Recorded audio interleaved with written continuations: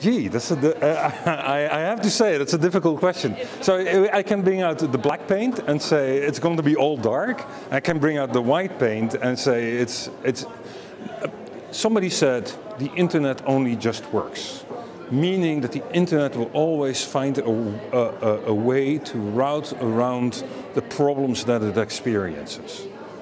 I hope the internet will continue to evolve to route around the problems that it experienced, both by malicious actors and by good intentions and by what, and that we will have, at least for my kids, uh, an open, trustworthy, globally connected internet for, for everyone.